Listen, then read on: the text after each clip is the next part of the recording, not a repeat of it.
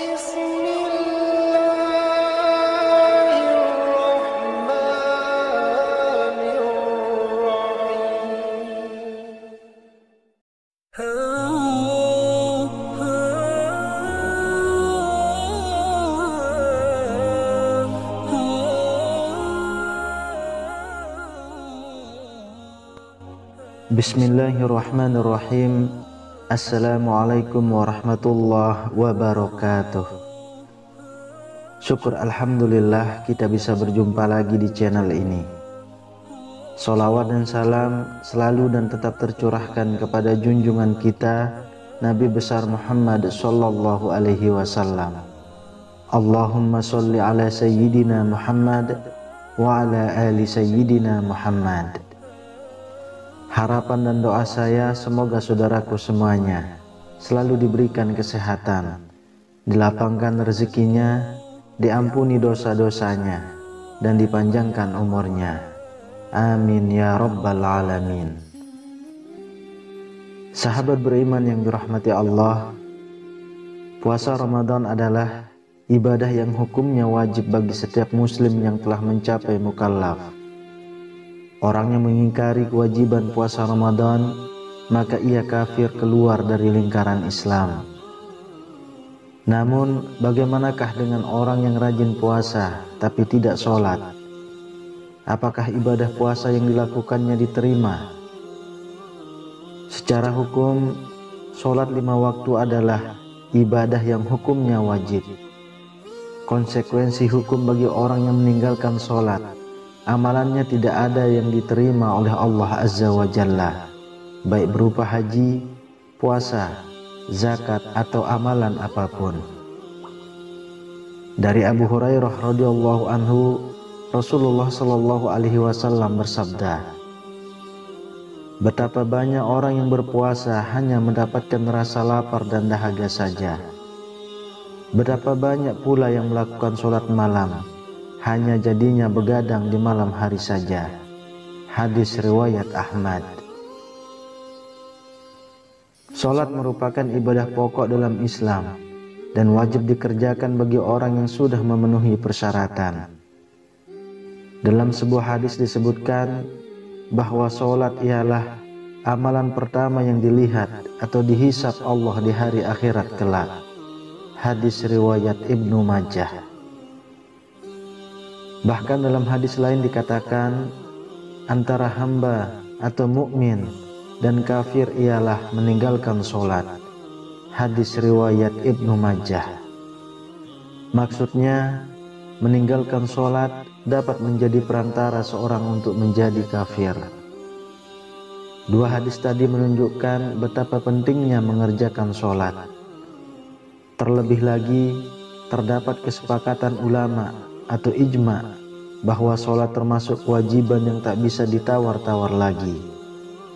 Siapa pun yang sudah memenuhi persyaratan, meski mengerjakannya dalam keadaan apa pun dan sesulit apa pun. Selain puasa, terdapat kewajiban pokok lain yang hukumnya setara dengan sholat, seperti haji dan zakat. Kemudian bagaimana hukumnya mengerjakan puasa tetapi tidak mengerjakan sholat.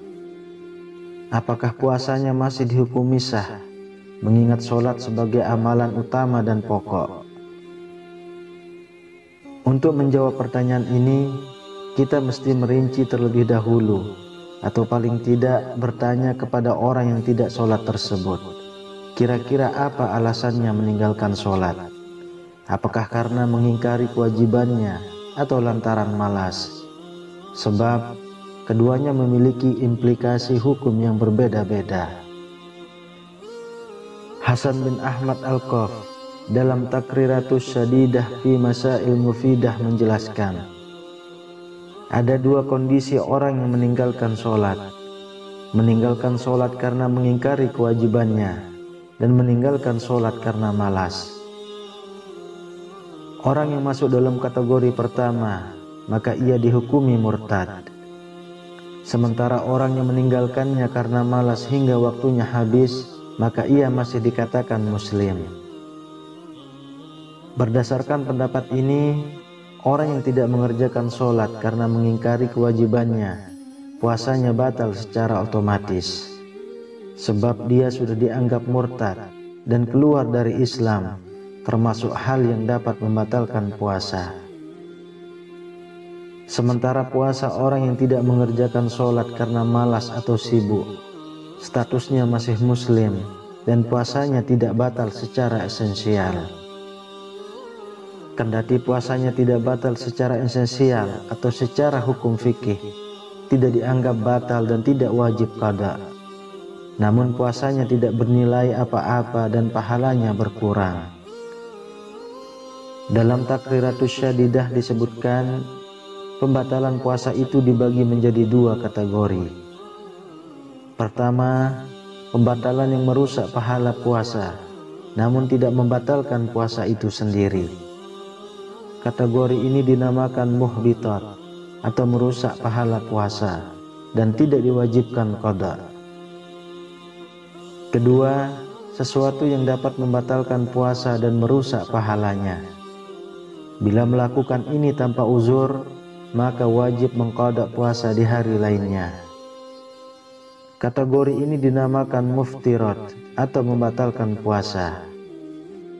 Meninggalkan sholat itu dapat dikategorikan sebagai muhbitat al-saum. Dia tidak merusak keabsahan puasa, tetapi dia merusak pahala puasa. Sehingga ibadah puasa yang mereka kerjakan tidak bernilai di hadapan Allah. Meskipun demikian, dia diharuskan untuk tetap berpuasa sebagaimana mestinya dan mengkodok sholat yang ditinggalkannya. Sahabat beriman yang dirahmati Allah, itulah pembahasan tentang orang yang berpuasa tapi tidak melaksanakan ibadah sholat. Semoga kita semua senantiasa tetap istiqomah menjaga ibadah puasa kita dan istiqomah mengerjakan ibadah sholat. Amin ya rabbal alamin. Wallahu a'lam bisawab. Demikian yang bisa saya bagikan. Semoga bermanfaat untuk kita semua.